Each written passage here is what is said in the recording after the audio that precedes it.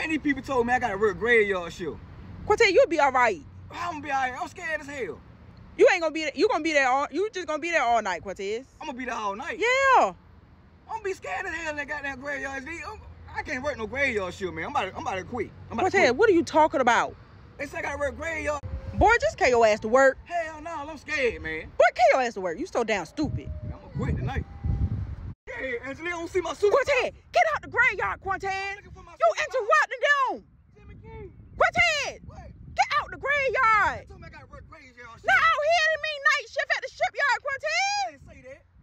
Oh my God. graveyard Quintez, come on, get out of here. I'm interrupting them.